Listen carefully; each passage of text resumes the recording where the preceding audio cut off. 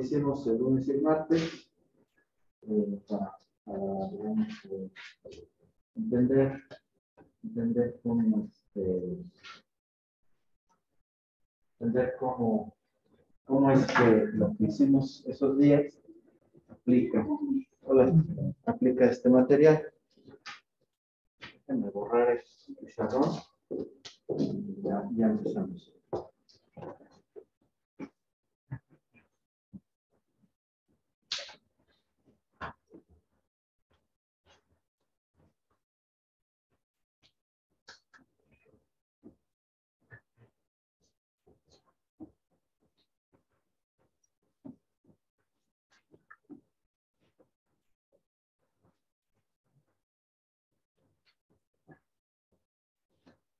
Bueno, ahora sí podemos empezar. Eh, igual que ayer, la gente que está en línea, eh, con toda confianza, eh, pueden abrir su micrófono y hacer preguntas. y bueno, pues vamos a empezar. esto es lo que tenemos que hacer hoy. Bueno, esto es lo que hicimos el primer día, esto es lo que hicimos el segundo día. Y, hoy sí nos vamos a enfocar en, un material bidimensional. Eh, y vamos a, bueno, vamos a este, avanzar para ver que, su dispersión es este, de Y bueno, eh, pero hay que de nuevo este, meter un montón de, de, este, de bagaje. Hay que meter este, un montón de terminología de nuevo. Y eh, lo primero que vamos a hacer, bueno, eh, déjenme más o menos darles la idea de, qué es lo que vamos a hacer. El lunes y el martes estuvimos hablando de eh, partículas libres en, el, en, el, espacio, en el espacio bidimensional. incluso cuando hablamos del efecto Hall cuántico, estábamos pensando que las películas de oro este, proporcionan una dispersión eh, básicamente eh, libre para los electrones con colisiones, ¿no? Pero ahora, eh, pues ya vamos a empezar a hablar sobre un material y eso requiere que, que, introduzcamos más metodología. Y la metodología principal es lo que se conoce como la, la teoría de, de enlaces fuertes o el método tight binding en inglés, el método de enlaces fuertes. Eh, y bueno, tenemos que construirlo todo y eso es gran parte de lo, de lo que se va a hacer hoy. ¿De acuerdo? Y ya hacia el final vamos a ver cómo es que con todo este modelo de enlaces fuertes podemos conectar a Dirac. ¿Sí? Y si tienen preguntas, con toda confianza, ¿eh? Bueno. Sí. Este, ¿Me están seguido poniendo trabas para pasar? ¿Ya no? Bueno, entonces, Cualquier cosa, por favor, a veces con toda confianza. Ya se lo con los guardias y tú sabes que todo está. Perdón. Gracias. Gracias. Gracias. Bueno, entonces, eh, entonces, bueno, tenemos que hablar de, de este método de, de, de, enlaces fuertes o tight binding, eh, pero eso requiere que hablemos de funciones de onda que están eh, localizadas eh, alrededor de núcleos atómicos. Entonces, eh, un conjunto de funciones que tienden a ser localizadas, pues son eh, las soluciones de átomos hidrogenoides, ¿sí? Entonces, si consideran el hamiltoniano de un átomo de hidrógeno o de un átomo que tenga, por ejemplo, en lugar de, de, un solo protón que tenga z protones, ¿no? Eso es como cambia el potencial en el problema hidrogenoide. Entonces, eh, las soluciones de esos problemas se conocen y eso nos da una base, una base de funciones de onda eh, que son localizadas, eh, en la cual podemos expander soluciones de onda arbitrarias. Entonces, entonces, bueno, esto es, digamos, la, la, la, el hamiltoniano hidrogenoide, que como pueden ver sigue siendo un hamiltoniano de una sola partícula, eh, va a aplicar más o menos eh, bien eh, para materiales que tienen números atómicos pequeños. Ajá, donde ya empieza a fallar es eh, en elementos que tienen eh, este, orbitales D o F, pero en este caso el carbono tiene nada más S y P, entonces funciona más o menos bien. Y eh, como ustedes saben, las soluciones de, de, la función de onda hidrogenoide, pues tienen una parte radial que dependen en el número cuántico principal n y el número este, orbital L y también tiene un ah, esférico armónico que, bueno, depende nada más de los, de los eh, números cuánticos este, eh, orbitales, ¿sí? El hecho de que la parte eh, angular no dependa del número cuántico principal va a, ayudarnos a que podamos generar combinaciones lineales de estos esféricos armónicos. Como ustedes recuerdan, los esféricos armónicos eh, son, son complejos, son funciones complejas, pero podemos generar combinaciones lineales eh, de manera que, que, las hagamos reales y eso nos ayuda al menos a visualizar los orbitales, ¿no? Bueno, vamos para allá, es parte de, de, de, de dónde vamos. Eh, como ustedes saben, bueno, las soluciones de este problema pues solo dependen del número cuántico principal.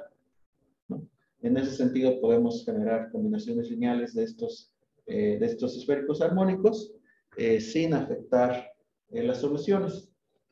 Bueno, aquí estoy tabulando este, algunas funciones radiales específicas y lo que quiero que ustedes recuerden es que la parte radial de estas funciones de onda eh, pues es un polinomio por un exponencial que decae.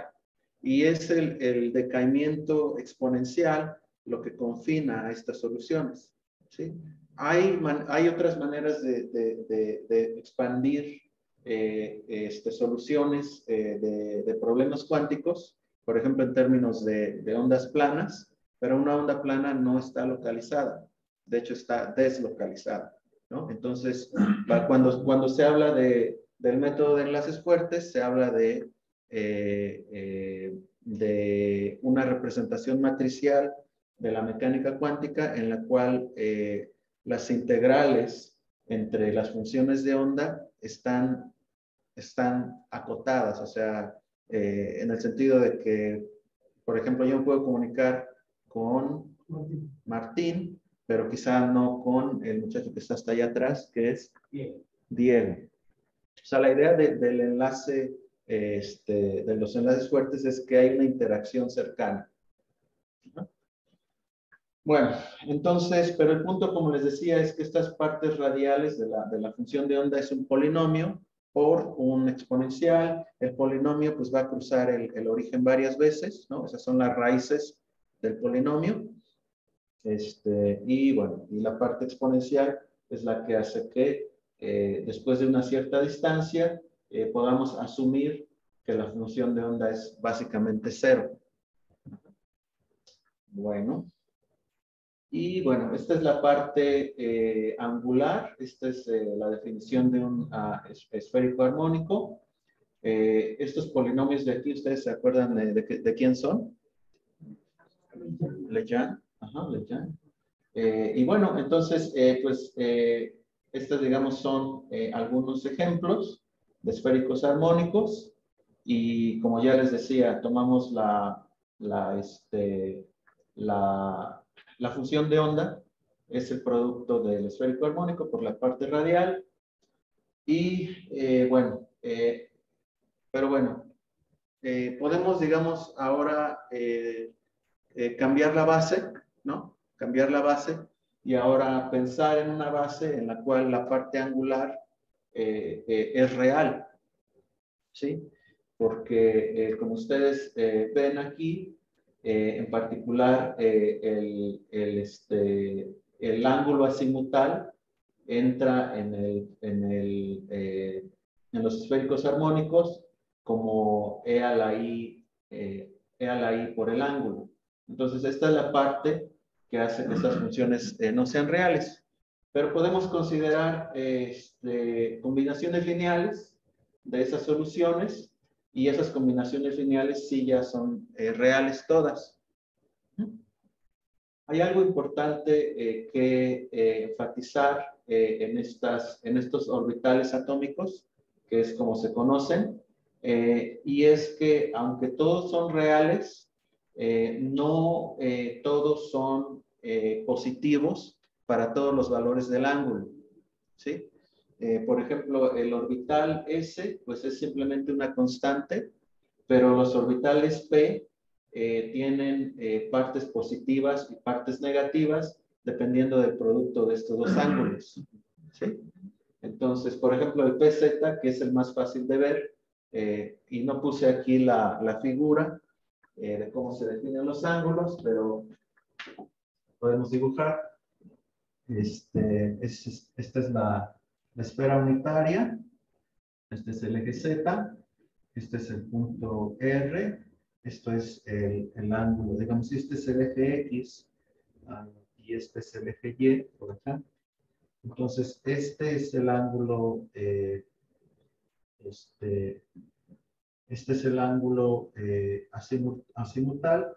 y este es el ángulo polar. Entonces, eh, entonces, por ejemplo, para el orbital PZ, que no tiene, ¿qué pasó? que no tiene la, la dependencia en el ángulo este, azimutal, eh, podemos ver eh, claramente que este orbital pues va a ser eh, positivo para valores entre 0 y 90 grados del ángulo, del ángulo teta, pero se va a volver negativo para los otros valores. Entonces, de hecho, usemos azul para positivo, la parte positiva del orbital. No, podemos usar rojo positiva y azul para negativo. Pero eso es bien importante, es bien importante que se acuerden que el orbital, que el orbital P en particular va a estar cambiando de signo. Esa es la parte positiva, la parte negativa. Bueno, pues podemos continuar. Eh, ¿Alguna pregunta acá?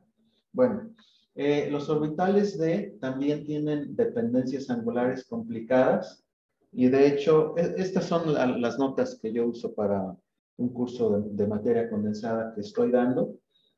Y, bueno, hay un, hay un error en, en, en, una figura en mis notas y es que eh, aquí estoy pues básicamente enseñándoles que el orbital S es positivo, que los orbitales P eh, son positivos y negativos, y los orbitales D también son positivos y negativos. Pero aquí este, este es algo que, que, tengo que cambiar en la siguiente iteración de estas notas. Este, pero bueno, pero no hay problema, ¿no? Ok.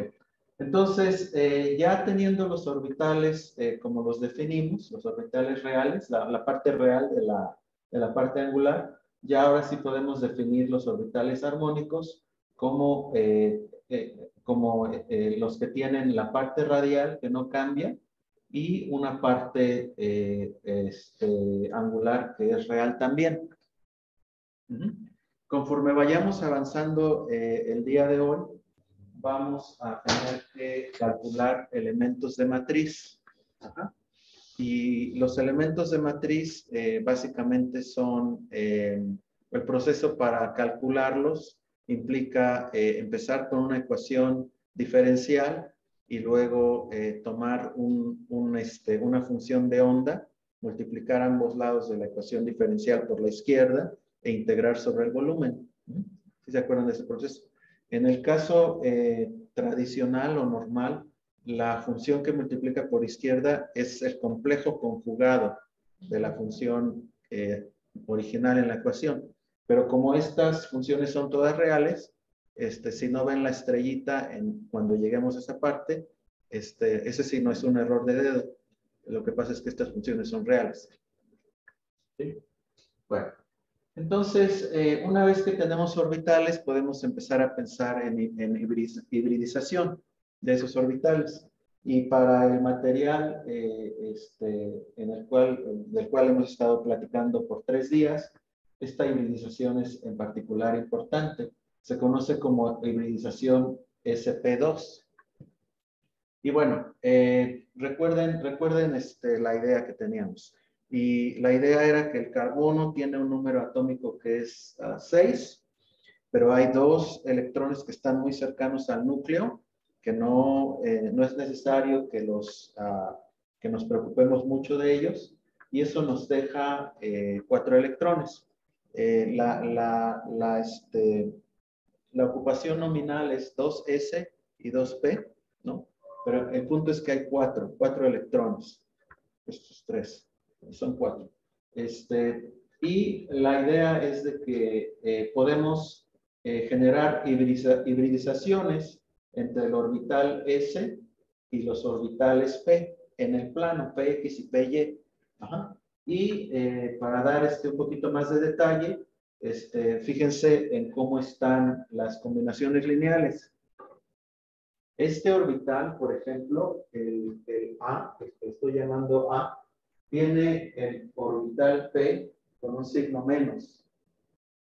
Esto quiere decir que la, la, como este es positivo y el orbital PY va a ser eh, positivo en la parte eh, Y positiva y negativo en la parte Y negativa, entonces, eh, como tiene un signo menos, la parte negativa de este orbital Y va a ser más grande que la parte positiva. Entonces, si este es el plano, este es el plano XY.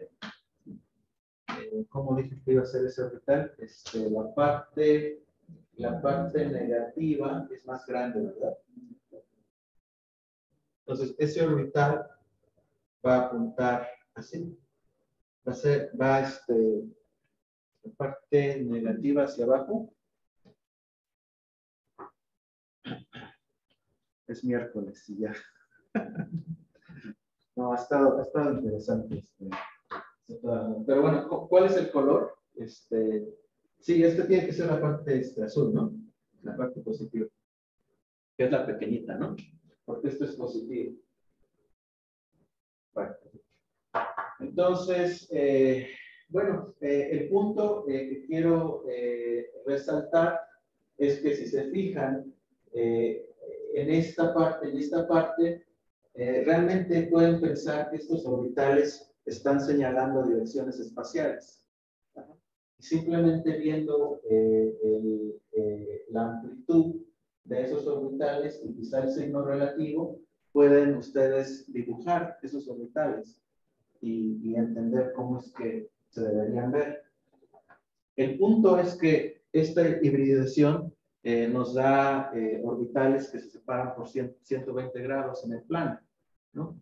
Entonces, ya sin, pensarle mucho, este, 120 grados.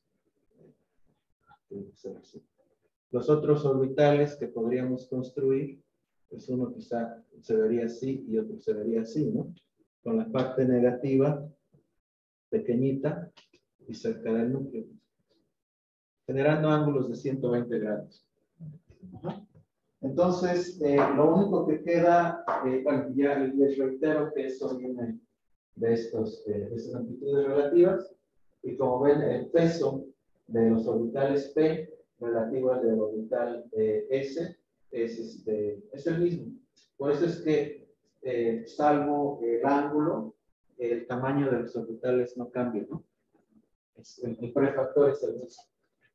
Este, ¿Qué más? Ah, entonces, bueno, eso deja un orbital solo, que es el orbital PZ, y este es el orbital pi. Ya vamos este, un poco antes, ¿no? Este, profesor. Sí. Entonces, la hibridación SP se debe a que los electrones dentro de nuestros, nuestros materiales, como el carbono del grupo 4A, es porque están vacíos y todos los espines están como alineados a la misma dirección. Eh, entonces, porque se está, al parecer se están juntando los orbitales sigma y pi, ¿no? De este, nuestro material. Eh, perdón, es que es que se me complica un poco verlo por el tema de que pues el orbital de enlace pues debe, es como esférico, ¿no? O sea, para un hidrogenoide y el orbital S es esférico eh, pero cuando sumas la amplitud del orbital S con la amplitud del orbital P, te estoy viendo, pero mira, parece que estoy volteando. Este, cuando sumas las amplitudes, eh, no los cuadrados, este, pues hay partes de la amplitud que se cancelan. Entonces, eh, el punto de, de, la hibridización es que te da enlaces químicos altamente localizados. Y el carbono, en particular, es un elemento súper versátil quizá el más versátil de toda la tabla periódica, porque te puede dar eh, hibridización SP2, que es la que es importante para el grafeno o grafito, te puede dar SP3, eh, que es importante para el diamante, en la cual eh, tienes, en lugar de tres orbitales en el plano a ángulos de 120 grados, generas un tetraedro eh, y el tetraedro eh, te da eh, este, separaciones angulares que todas son idénticas. Este, también puedes tener hibridización SP1 que este, daría pie a, moléculas de carbono, este, como por ejemplo los plásticos, ¿no? los polímeros. Este, pero, pero la hibridización básicamente tiene que ver con, con el enlace, con la direccionalidad del enlace. No sé si esto responde tu pregunta. Mm, me causa la pregunta de, entonces, ¿por qué se, por qué se llevan, pues, qué es lo que motiva o causa el tipo distinto de hibridación? O sea, por, para, ¿por qué se causa una hibridación SP1 o por qué se lleva una hibridación SP2 y así? Sí, es una buena pregunta. La respuesta es que la hibridización está eh, motivada por el ambiente, por el ambiente químico. Eh, básicamente, si tienes eh, este, enlaces de carbono, digamos, por ejemplo, con hidrógeno, este, donde, los electrones libres del carbono están este, pasivados, es la palabra que se usa con hidrógeno. Entonces, eso va a intentar darte un, un enlace que es más eh, unidireccional.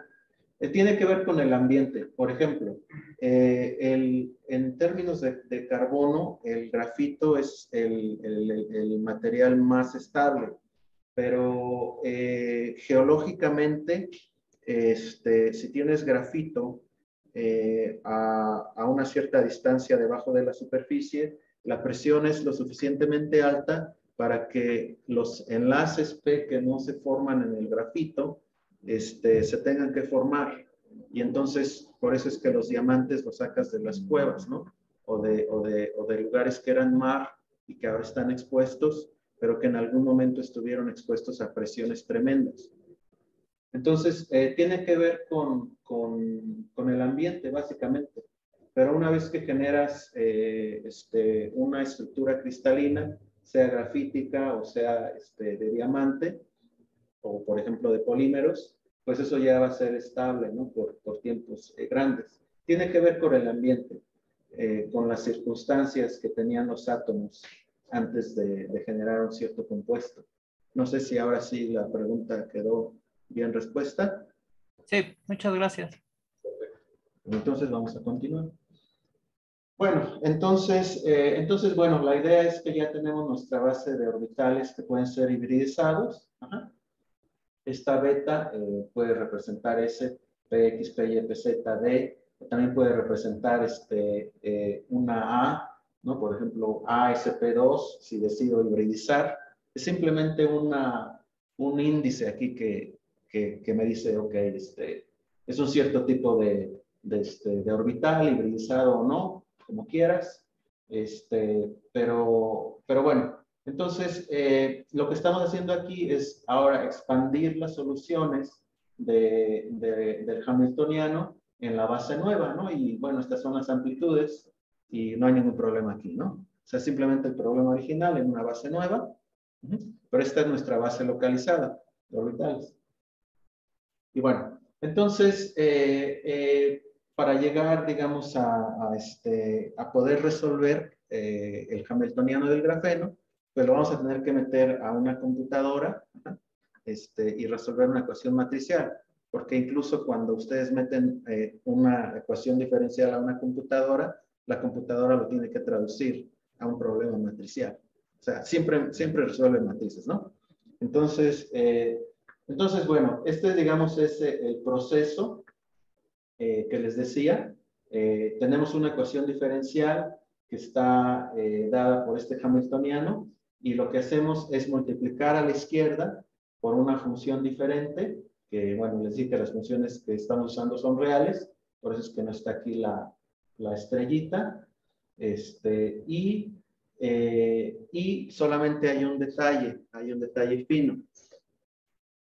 Y el detalle fino es que eh, el orbital que multiplica a la izquierda puede pertenecer al mismo átomo o no. Si ustedes tienen un cristal, este, entonces eh, pueden generar integrales de estos eh, que, incluyen estos orbitales, pero el orbital puede estar en este átomo o en este otro átomo, o si es un cristal, digamos, con una cierta estructura, en cualquier átomo en ese cristal, ¿no? Entonces, ese detalle fino entra aquí con esta eh, este, distancia en, este, en mayúsculas. Esta, esta, R lo que nos está diciendo es que, eh, que bueno, que hay que tener cuidado. Que si, si solamente quieren ver la dinámica de electrones en un solo átomo, entonces esta R la pueden hacer cero. Pero si tienen un cristal, bueno, pues el orbital puede estar centrado en otro núcleo, ¿no? Entonces ese es un detalle fino. Este, y, eh, y bueno, entonces, eh, entonces estamos básicamente separando nuestras integrales de la matriz en dos, en dos este, categorías.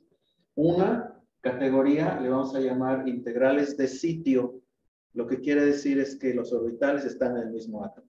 ¿Sí? Y la otra categoría le vamos a llamar de brinco. Ajá. De brinco para la parte dinámica, para el hamiltoniano, o de traslape para la parte orbital. ¿Sí? O sea, ok. Eh, algo que tienen que ver es que estas integrales, eh, como están aquí, lo que están estableciendo es un problema de eigenvalores generalizado. O sea, en, matemáticas ustedes tienen, está, están acostumbrados a resolver quizá este tipo de problemas. Este es un problema de eigenvalores simple. El problema de eigenvalores generalizado este, se modifica porque hay una matriz este, que multiplica a los eigenvalores. ¿Sí? Como los orbitales atómicos no pueden asumirse ortogonales, de hecho no lo son. Esta, esta, esta, estas integrales de acá no necesariamente son unos y cero, pueden ser otras cosas. Si fueran unos y cero, entonces estaríamos en este caso, porque este caso es lo mismo, se multiplican esto por la identidad, no cambia nada, ¿no? Si, esta, si estas integrales fueran unos y ceros, estaríamos con la identidad y estaríamos en el caso eh, este, especial, pero como no podemos garantizar que van a ser unos y ceros, pueden ser números entre uno y cero, este, entonces tenemos que trabajar con esto, con el problema de valores generalizado. ¿Sí? Bueno, este, ya, este, aquí, aquí hay este, una cosa entonces interesante. Eh, si están pensando en el hamiltoniano, están pensando que el electrón brinca, ¿no? Brinca. Este, pero si están pensando en los orbitales, los orbitales están estáticos y nada más traslapan, se abrazan o no se abrazan. ¿sí? Entonces, hoping, perdón, este, brinco implica dinámica. Y, este, y el hecho de que los orbitales tienen una, una distancia finita Quiere decir que si los orbitales, si los electrones van a brincar, es más probable que brinquen de átomo en átomo. Esto se le conoce como la localización del problema electrónico. O sea, los, electrónicos, los electrones tienden a, ver muy cerca, son miopes. Bueno, en fin. Este, yo creo que podríamos ahora, eh, bueno, vamos a ver, este, aquí hay una pregunta. Eh, Ok, la pregunta es qué temas vimos ayer. Este, y sí, este, tenemos ya la liga, la gente aquí este, en el salón tiene la liga. Eh, la gente que está en línea, si pudieran escribir su nombre y su dirección de correo electrónico, este, podemos compartirles la liga. Lo que vimos ayer fue la ecuación de Dirac, este, que bueno, estuvo, estuvo bastante complicado, este, pero las notas están en, la liga. Bueno, en fin, eh, es tiempo de una broma. Ah, todavía no. Va a haber una broma un poquito aquí. Este, sí, dime. Eh, ¿La otra función que puede presentar tiene que ser necesariamente de los primeros vecinos? No, no necesariamente. La, la pregunta es si eh, los, los, este, si eh, las interacciones de matrices tienen que ser nada más de primeros vecinos. La respuesta es no, pero como los orbitales tienden a ser básicamente muy localizados, quizá a lo más que puedes llegar en términos prácticos es a 10. Y eso ya sería así como dándole mucho, ¿no? Eh, teóricamente o analíticamente te conviene este, parametrizar con el número más pequeño de vecinos, pero tienes libertad. Este, bueno, ok. Entonces, eh, pues vamos a empezar a, a, a, pensar en las integrales de sitio. Ajá. Este, y eh, vamos a pensar en la base en la cual tenemos orbitales S, PX, PY y PZ. Entonces, estas, estos diagramas que están acá, eh, básicamente les dicen si estas integrales van a ser cero o no. Ajá. Y por ejemplo, este, esta integral aquí, este, o sea, la idea es pensar que hay dos orbitales S en el mismo sitio, ajá, que están traslapando eh, los orbitales, cuando están en, este, en, el mismo sitio, están normalizados a la unidad, ¿no? La integral debe ser 1. Y bueno, eso es lo que dice aquí abajo, ¿no? Pero, por ejemplo, cuando tienen un orbital S con un orbital eh, P, Px, Py, Pz, esas integrales son todas cero. Y eso se puede ver porque podemos dividir el espacio de integración entre la parte, digamos, por ejemplo, aquí a derecha y a izquierda, y como el signo del orbital P cambia, estas integrales son asimétricas. Integrales asimétricas sobre un intervalo simétrico son cero, ¿no? Y entonces, entonces bueno, todas estas, todas estas son cero. Y bueno, lo que ven es que en este caso, eh, las únicas integrales que no son cero son, están en la diagonal, ¿no? Entonces, para el caso de que solamente hay un, eh, digamos, cuando tiene nada más un átomo, este, las integrales son nada más diagonales. Y eso tiene sentido porque eran las soluciones. Era, eran, empezamos con las soluciones, ¿no? En fin, este, ¿alguna pregunta? ¿Eso está claro? ¿Está bien? Sí, sí. Y este Profesor, sí, una pregunta. Sí, una pregunta. ¿Usted emplea alguno de los paquetes que ya están habilitados como DFT o Gaussian para hacer estos cálculos o tienen otros programas? Eh, los ocupamos cuando necesitamos ocuparlos, este, pero esto es más general, ¿no? Esto es como, eh, mm, ¿cómo decirlo? Es, eh, es la base, ¿no? La base teórica. Sí, claro. Sí, gracias. Y, y, bueno, este, es que cuando uno les dice que va a venir un chiste y no sale, ya se pierde la emoción.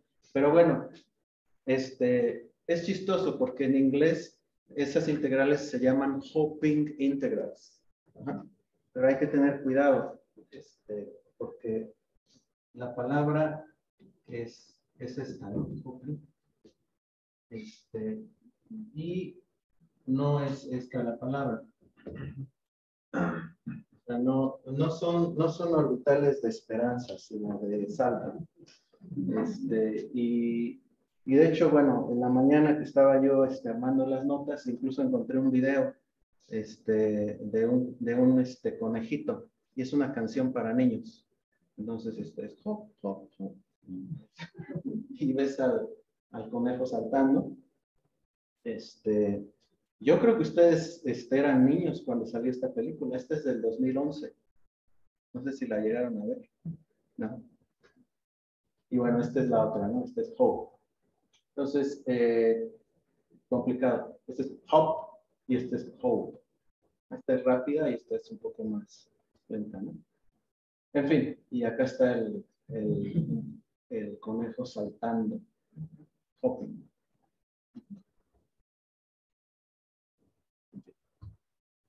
Bueno, entonces eh, ya hablamos de, este, de, de, las integrales de sitio y ahora hay que empezar a hablar de las integrales cuando tenemos dos átomos que están separados. Eh, vamos a hablar de grafeno, así es que la vida nos la hacemos fácil en ese sentido. Si los, si los elementos químicos fueran diferentes, entonces los orbitales serían diferentes y hay más complicaciones. por ejemplo, este, bueno, ya, ya vamos a llegar a eso, pero digamos que nada más es carbono. ¿sí? Entonces, eh, entonces, bueno, eh, aquí está un, un, dimerito de carbono, los dos átomos están separados por una distancia R. En este caso, y durante parte de la, de la, de la presentación, vamos a asumir que los carbonos están separados a, lo largo del eje X, por decir, ¿no? Entonces, eh, de entrada, este, eh, lo primero que tienen que ver es que si su sistema requiere integrales de brinco o de traslape, eh, eh, su matriz va a tener que ser más grande que 4 por 4. O sea, si tienen un solo, un solo elemento químico, pues le meten su orbital S, su orbital PX, su orbital PY, su orbital PZ, y su matriz es 4 por 4 y ya acabaron. Pero si tienen orbitales de brinco traslape, implica que al menos hay otro átomo. Entonces, al menos su, su, su matriz tiene que ser 8 por 8. ¿Ok? Entonces, y bueno, entonces aquí, eh, vamos a ver. Eh, aquí entonces eh, lo que tenemos es, este, lo que traté, digamos, de demostrar es que los orbitales no están en el mismo centro, sino que hay un, hay un distanciamiento horizontal. Y entonces la pregunta es, pues ahora, ¿cuáles orbitales son cero y cuáles no son cero? Y el detalle en particular es que cuando un orbital, el, el, PX, se mueve a la derecha, entonces esta integral este, ya no es cero. Originalmente, recuerden, lo que teníamos era que solamente la diagonal era cero, digo uno, y todo lo demás era cero.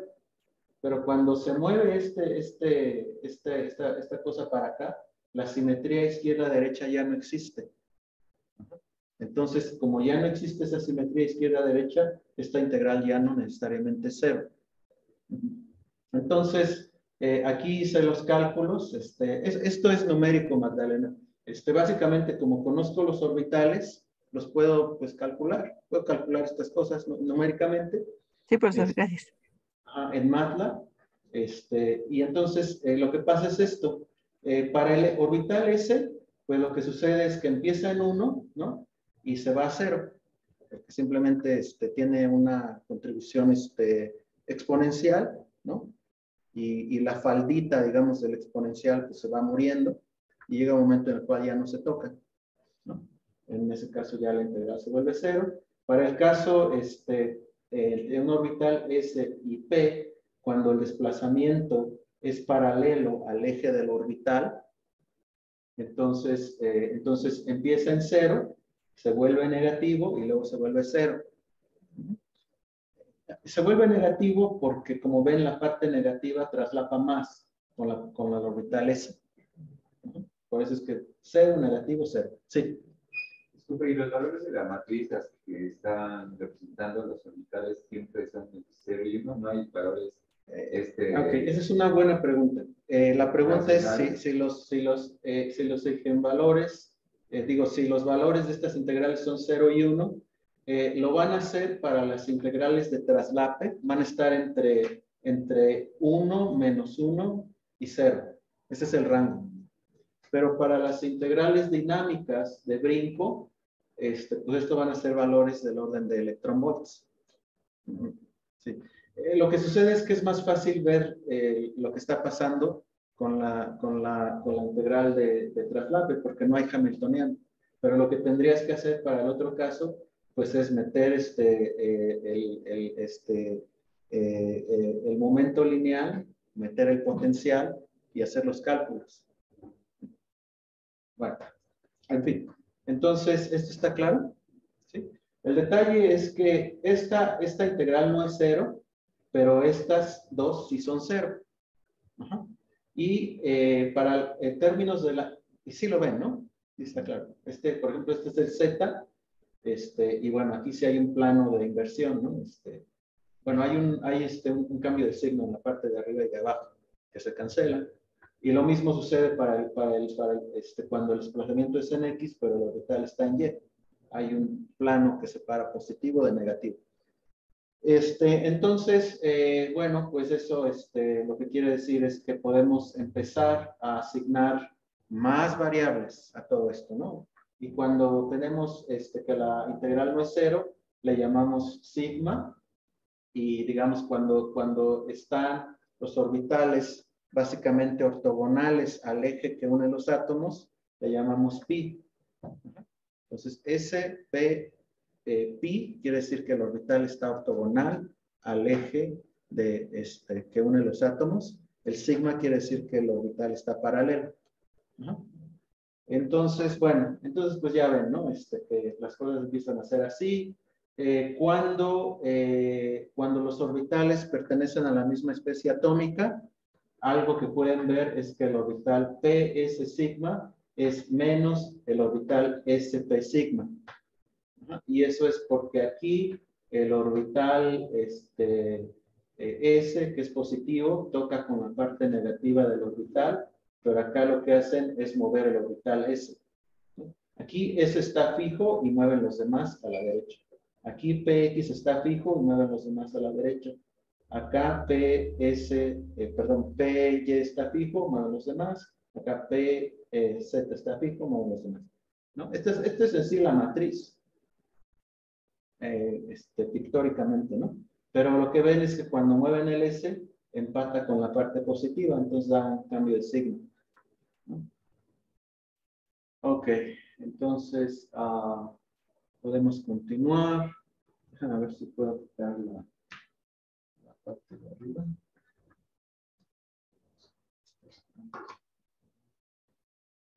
Está bien, ¿no?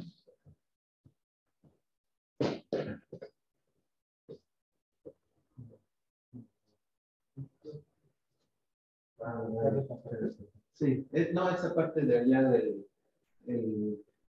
Ah, no, no importa, ¿verdad? Sí se ve todo. Ah, perdón, no, perdón, sí se ve todo. Me confundí. Bueno, no hay problema, sí se ve todo. Gracias, perdón. Bueno, ¿alguna pregunta acá? No se claro. Okay. Bueno, pues entonces el negocio ahora es que eh, como ya conocemos los orbitales, los podemos generar, tenemos expresiones analíticas, este, podemos eh, considerar un hamiltoniano también, entonces, eh, podemos evaluar estas integrales y básicamente tabularlas como función de la separación entre los, entre los átomos. Y nominalmente les digo que la separación se pone sobre el eje X.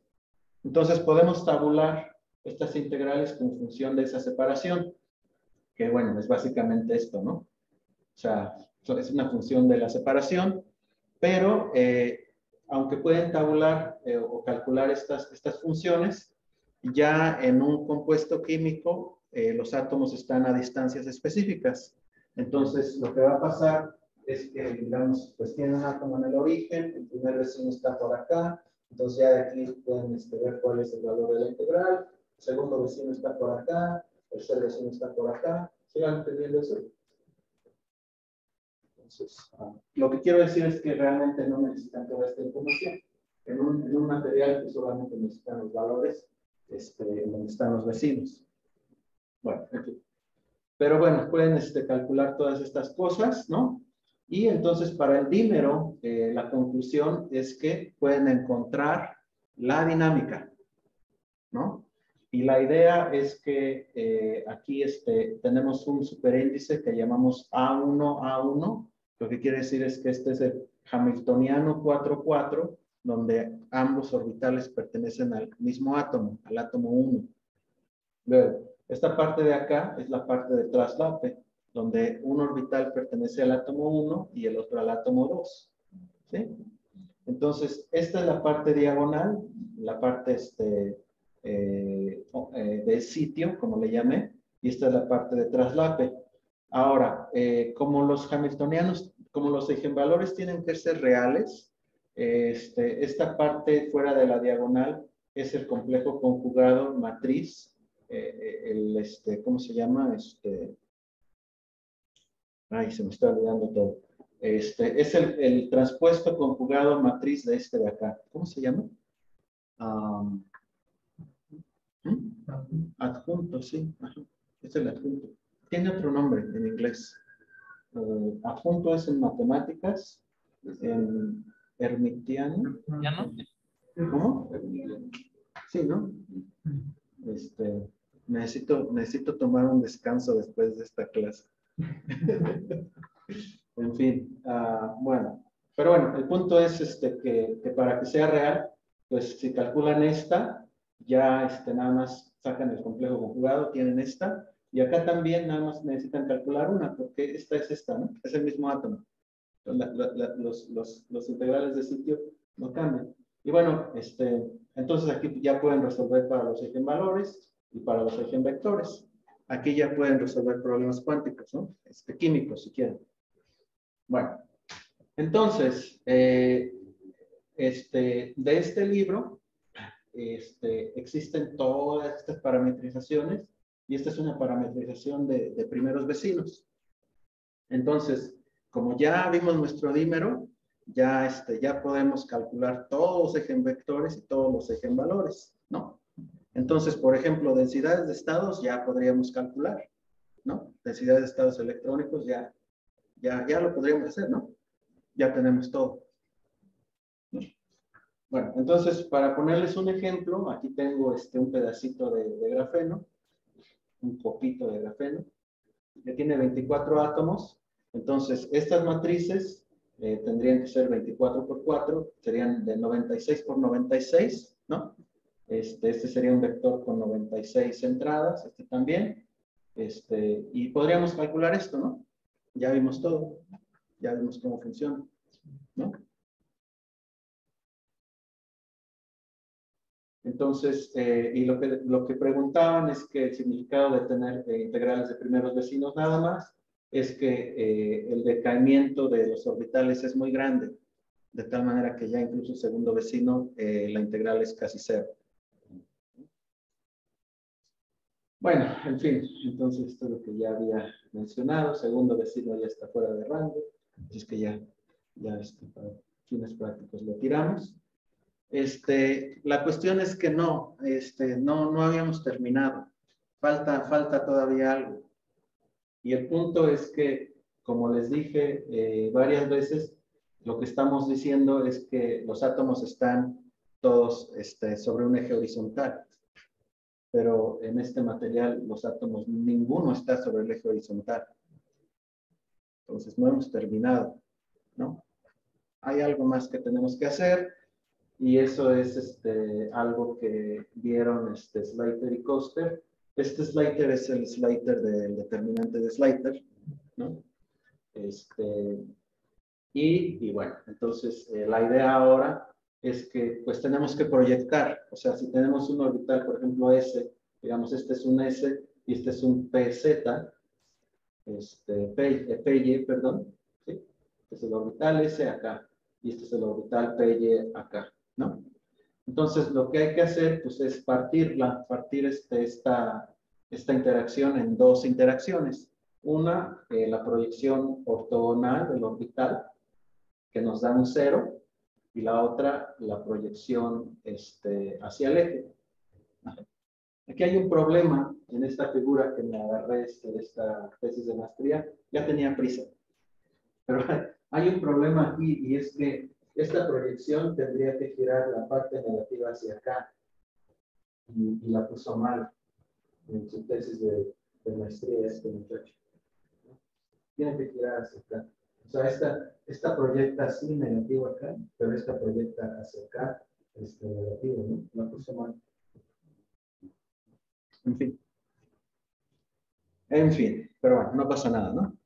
Pero sí ven la idea, ¿no? O sea, ya calculamos las integrales siempre asumiendo este, o que el orbital está paralelo o perpendicular, ¿no? Este, y ahora, este, en la vida real eso no sucede, y lo que tenemos que hacer es proyectar. Y ya, pues tampoco, tampoco está tan mal, ¿no? Entonces, eh, el punto, digamos, de, la, de este artículo, que de hecho es muy bonito, es que tiene una tabla.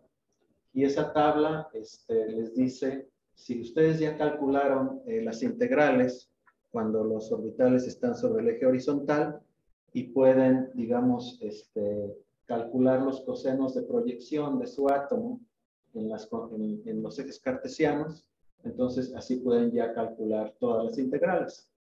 Entonces, ahora sí ya acabamos. Solamente lo único que nos faltaba era recordar que teníamos que proyectar hacia los ejes porque los átomos no se, no se, no se este, colocan horizontales, se colocan como se quieren colocar.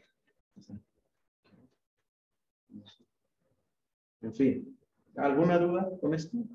Es un, todavía un detallito ahí, pero lo único que, que, sucede es que como, como los, los enlaces tienen ciertos ángulos, pues hay que proyectar. Bueno, Entonces, ahora sí podríamos ya calcular. Aquí sí ya podríamos ir. Ahora sí ya. ¿No? Sí, este, Giovanni. Este, pero esto no, tiene, no está relacionado con la matriz de Slater y con los orbitales simétricos y antisimétricos. O sea, esto es. No, esto, es, otra cosa que hizo Slater. No ah, tiene nada. Ok, ok, ok. Y el spin aquí no está, no lo estamos considerando todavía, ¿verdad? No, ni lo vamos a considerar este, en esta semana. Mm, ok. Lo podemos meter al final. Este, sí, pero este, realmente no, no mucho. Bueno, entonces le decía, ya, ya aquí ya podemos este, calcular todo, en principio, ¿no? Ya tenemos toda la receta. Y con esto podemos tomar un descanso de unos cinco minutos.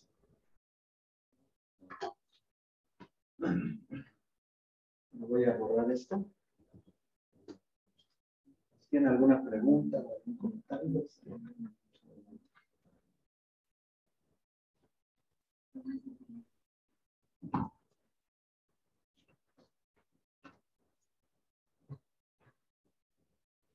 Alguien levantó la mano. Ajá.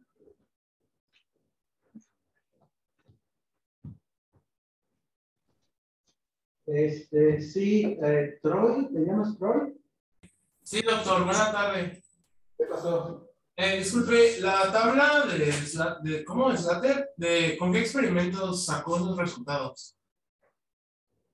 No te escuché, ¿puedes repetir?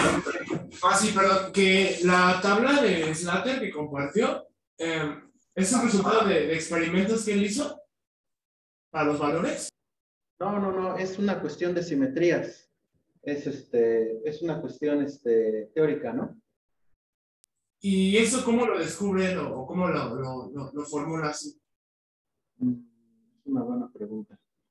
Este, déjame pensar un poquito. Este, pues mira, yo creo que lo, lo, lo, que significa es, este, bueno, hay varias maneras de responder tu pregunta. Dame un segundo. Sí, doctor, gracias.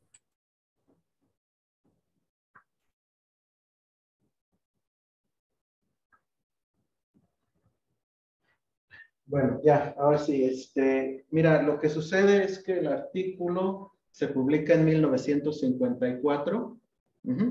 Este, eh, el poder numérico en esas épocas era muy bajo y entonces lo que se conocía eran este, este, los eigenvalores eh, para, para los electrones en los materiales. Por ejemplo, se conocían el ancho del gap este, por ejemplo, silicio, vamos, okay, este, vamos bien atrás para, para responder tu pregunta. Es básicamente una cuestión histórica. En términos de materiales, quizá el silicio es el material más estudiado. Entonces, para el silicio se conocían con mucha precisión eh, los anchos de banda, ¿no?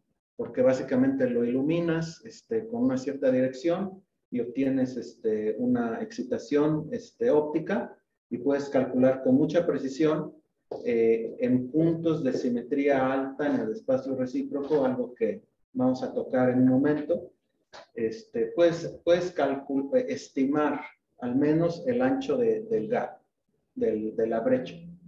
Entonces, con esa información experimental, eh, la tarea de los teóricos era pues reproducir al menos eso y quizá decir un poquito más.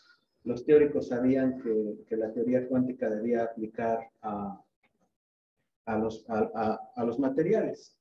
Entonces, eh, este ejercicio de, Slater y Coster, pues básicamente es un ejercicio de simetrías, es, lo que es, ¿no? Entonces, eh, lo, que, lo, a lo que ayuda este ejercicio es a poder estimar este, las energías de los electrones en puntos de simetría alta este, que empataran con el experimento. Y de hecho, las integrales este, que aquí en principio podemos calcular, pues eran básicamente este, empatadas al experimento. O sea, estamos hablando de 1954. Ahora, quizá hay una segunda parte eh, de respuesta a tu pregunta, y a mí me parece muy bonita. Y esa es que Slater, eh, siendo, digamos, formal este, en esta idea de, de, este, de, de resolver las, las, funciones de onda de, más de un electrón, eh, siendo que él era así de formal, también se daba la oportunidad de ser informal, ¿no? Y decir, ok, eh, yo tengo aquí en mi nube, en mi mente, este problema de múltiples electrones, bla, bla, bla, pero mi vecino de al lado, que está haciendo un experimento, tiene estas, estas líneas de emisión. Entonces, yo voy a hacer lo mío acá este, en mi mundo, pero también voy a bajar al mundo, este, al mundo de mi vecino y le voy a ayudar. Eso me gusta de Slater. Slater hace lo de acá arriba, teórico bien padre, pero también se, ensucia las manos si quieres este, y nos da una técnica que ahora mismo se usa eh, para, por ejemplo, hacer tus medicinas. O sea, esto, esto se sigue usando. ¿No? Eso es bonito, ¿no? O sea, que, que, uno no diga, no, no, no, yo no puedo, yo no puedo hacer eso, ¿no? Eso. Y es, es el Slater, es ese Slater. Eh, ¿Cómo ves la, la, respuesta? Slater este, desarrolló como que ese estudio principalmente. Eh, bueno, hizo muchas cosas, ¿no? Este, pero quizás este, este, este artículo no lo conocía. En fin, bueno, este. Gracias, doctor. Sí. Bueno, entonces eh, vamos a continuar. Este, ya tenemos ahora mismo eh, al menos este, eh, pincelado un proceso para el cual, eh, con el cual podemos encontrar egenvalores y egenvectores para, para el grafeno. Ya está pincelado, ¿no? Y de hecho, bueno, este, en las notas que escribí, este, que están en látex, este, escribía, y eso fue algo que no les dije el lunes, que mi intención era básicamente darles una visión de ojo de pájaro de esto, ¿no? Este, o sea, realmente para cubrir todo esto, como lo estamos cubriendo, este, pues podríamos usar un año, ¿no? Este, quizá al menos un semestre. Entonces, todo esto es una visión este, eh, general, pero a la vez este, creo que sí tiene un cierto grado de formalidad. O sea, todo esto es cierto. Este, y si quieren adentrar, pueden empezar con esto y irse metiendo, ¿no? Este, o sea, no hay este, aquí, este, eh, este, en inglés le llaman hand waving, ¿no? Esto es, esto es, esto es creo que es formal, hasta cierto sentido, ¿no? En fin. Este, pero, eh, pues sí, ya podríamos resolver, pero, pero, este, pero ahora tenemos que hacer uso de la invariancia traslacional que nos va a ayudar a resolver esto de manera más, más rápida. Y el detalle es que, ok, este, yo les digo, que tengo una capa de grafeno, ¿no? Este, y con el procedimiento que les di, este, eh, a que acabamos de darles, lo que ustedes tendrían que hacer es decir, bueno, ¿cuántos átomos tienen? Y yo les digo, bueno, 5 millones. Y entonces lo que ustedes tienen que hacer es generar una matriz de 5 millones por, por 4, por 5 millones por 4, empezar a ver cuáles son los vecinos cercanos de cada átomo, calcular todas las integrales, calcular entonces este, eh, los valores, los vectores, ¿no? Darme una curvita de la densidad de estados y se puede hacer, ¿no? No hay problema. Pero quizá no es lo más eficiente, al menos si el material es lo suficientemente grande para que no nos ocupemos de las fronteras, ¿no? Entonces, si el material es lo suficientemente grande, eh, va a existir eh, invariancia transnacional, traslacional, no transnacional. Este, y lo que eso quiere decir es que eh, si yo soy un átomo que estoy en la parte central del cristal y me muevo a la posición de otro átomo, suponiendo que ese átomo se pone donde yo estaba, este, pues voy a ver todo igual. ¿No? En el centro eso sucede, en la orilla no. Entonces, si el, sistema es lo suficientemente grande, este, entonces esa, esa hipótesis funciona. Este, y bueno, entonces, eh, entonces eh, lo que sucede es que eh, esta ecuación aquí quiere decir que si que se aplica en el operador de traslación, ¿no? Al hamiltoniano, bueno, pues lo que tienen que hacer es este, en, el, en, el, en el laplaciano poner en lugar de R, R más una constante. Y pues la constante este, se va, ¿no? O sea, entonces, la parte cinética es invariante en la traslación y la parte del potencial, este, eh, como, como estamos hablando de un sistema periódico, pues el potencial es periódico. Entonces, si yo me muevo con una constante de látiz que no he definido, pero voy a definir en un momento, básicamente me muevo eh, de un sitio a un sitio equivalente en, en la látiz, en el cristal, entonces el potencial va a ser el mismo potencial es el mismo y la parte cinética no le interesa. Sigue siendo la misma, ¿no? Entonces, eso quiere decir que el hamiltoniano no cambia en ese sentido. Bueno, entonces, eh, sin embargo, el generador de, traslaciones es el momento lineal. Este, si ustedes han visto el libro este, de, ¿cómo se llama? Este, de mecánica cuántica de este, Ahí se me está olvidando todo. Ah, es un libro gris. Este, profesora Bendaño, ¿me puede ayudar usted? Este, este es un libro de mecánica cuántica. Este, el señor es japonés y trabajaba en el CERN. Trabajó con, Bell. Se me olvidó. ¿No se acuerda usted? No me acuerdo. Está en blanco. Pero es japonés este, y trabajó con, en el CERN. ¿Cómo es que se llama? ¿Será el Sakurai, doctor? justamente, sí.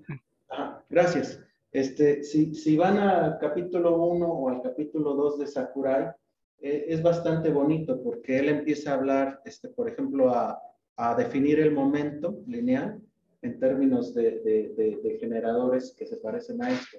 El momento angular este, lo hace de una manera similar. Lo hace con, con desplazamientos infinitesimales y después lo generaliza y se da cuenta de que para desplazamientos finitos, eh, el, el, el, bueno, esto se vuelve, digamos, una, un exponente. Bueno, en fin. Entonces, eh, bueno, sí, entonces eh, lo que va a pasar cuando existe invariancia traslacional es que las columnas de nuestra, de nuestra ecuación matricial se van a desacoplar. Y escribí aquí una nota este, diciendo que lo tengo que hacer en el pizarrón. Este, y bueno, lo vamos a hacer. Lo vamos a hacer para el caso más sencillo, eh, que es, digamos, una cadenita este, eh, lineal con distancias iguales este, y con un solo orbital. ¿Qué va a ser ese? También para hacerlo todo simple. Orbital S, un sitio con un solo orbital S, este, y un sistema periódico lineal con separación A.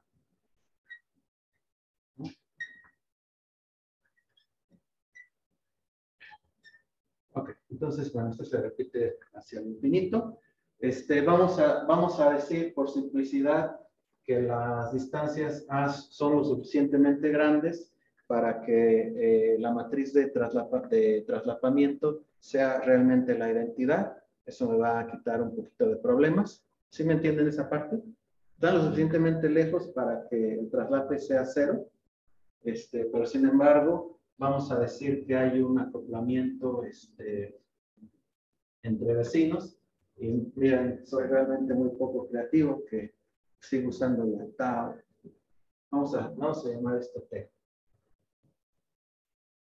Cambiar un poquito las cosas.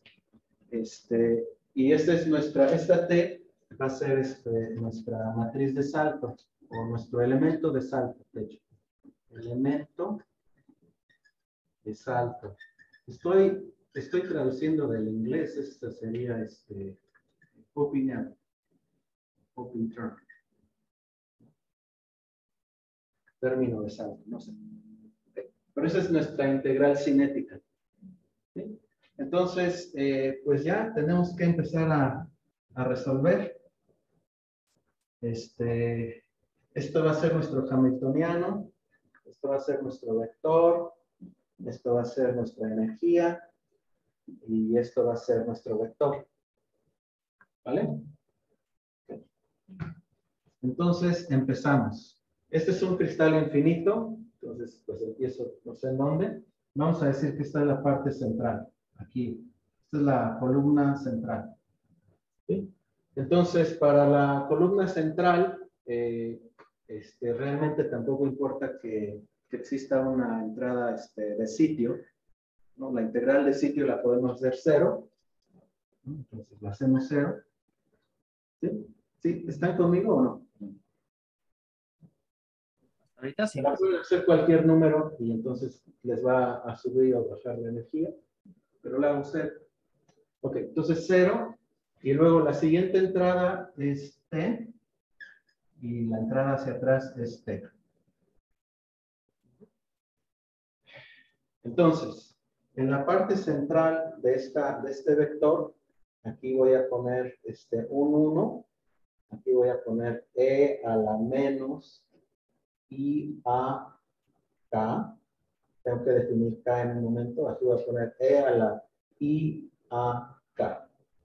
¿Sí? Las siguientes entradas eh, de, esta, de esta columna son ceros. Y las entradas acá son ceros hasta el infinito. No, está acotado. Sí. Ok, y esto pues va a ser E por E a la menos I a K, 1 E a la I a K. ¿Sale? Vamos a, vamos a considerar la, la entrada de arriba. Entonces, la entrada, esta, esta entrada de arriba este, pues va a estar desplazada, ¿no? T, 0, T, y luego acá ceros nomás, ceros, y ceros acá. ¿Sí? Pues vamos a ponerle aquí este, una entradita más, E a la menos 2 y acá, E a la menos 2 y acá. ¿Vale? Y bueno, ya ven que ahora voy a ir a la parte de abajo, pero necesito otro color. Ya, ya creo que ya se imaginan qué va a ser, ¿no? Se, se va desplazando, hay una especie de, de entrada, este bloque diagonal. Entonces, aquí tenemos ahora un 0, aquí tenemos una T y todo lo demás es 0. Ya, entonces T, 0, 0, 0, 0, 0. Entonces acá pongo E a la 2 y acá. Y aquí pongo E a la 2 y acá. ¿Sale? Ok, esta es, una, esta es una ecuación matricial y lo que hace es que me da un montón de ecuaciones lineales que están acopladas. ¿Vale? Entonces podemos resolver, ya se cayó la tinta. Podemos ir resolviendo. Nos empecemos con la de arriba. La ecuación en rojo nos dice que t e a la menos 2 y acá más t es igual a e por E a la menos 2i a k más 1. Básicamente, eh, por E menos 2i a k más 1. ¿Sí? Este,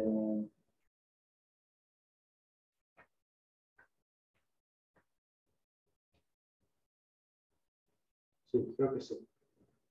Ah, lado derecho, ¿por qué? Este, porque lo que estoy haciendo es básicamente trabajando con esta columna y como todas las entradas son cero, menos esta y esta, actúan como selectores. Entonces me toman esta entrada y luego se saltan esta y toman esta. Sí, este. Eh, hay algo, hay algo un poco aquí. Este, estaría bien si me permitirían que yo metiera la E aquí y en lugar de resolver para esto, que lo haga cero. Esto lo vamos a hacer un vector de ceros. Y acá voy a poner menos E, si me lo permiten. Es lo mismo. Lo mismo, pero más barato, ¿no? En fin. Entonces, eh, entonces aquí lo que pondría sería E por 1. Ya una vez pasándolo para acá, ¿no? Ok, este era el cambio que voy a hacer. ¿No es E a la, E a la menos I acá? El que se sol- nos soltamos. Eh, no, es este, mira, selecciona el rojo, el rojo, y luego el otro es, es este de acá, que es un 1. Ah, sí, perdón. Perfecto, ya, gracias. Ok, ahora la segunda columna, digo, la segunda fila, ¿qué nos da? Pues nos va a dar T por E a la menos I a más E a la I a K que es la E. Ahí está ya la energía.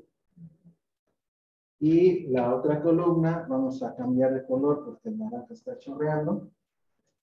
Este, nos va a dar T a la 1 más E a la 2 y acá va a ser igual a E por este, ¿qué? Eh, E a la I acá. ¿Sale? Si yo divido esta entrada por E a la I acá, pues lo que me da es E a la menos I acá, y aquí E a la I acá. Y si aquí divido por E a la menos I acá, pues me da esto, y me da E a la I acá, ¿no?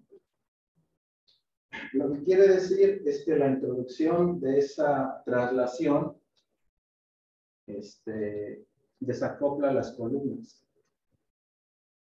De tal manera que con esta introducción, pues tengo múltiples copias de una sola ecuación. ¿Vale? Entonces lo que hice fue sustituir un problema en el cual tengo una matriz de tamaño infinito por un problema en el cual tengo una matriz de tamaño finito, pero tengo una variable continua, que es K.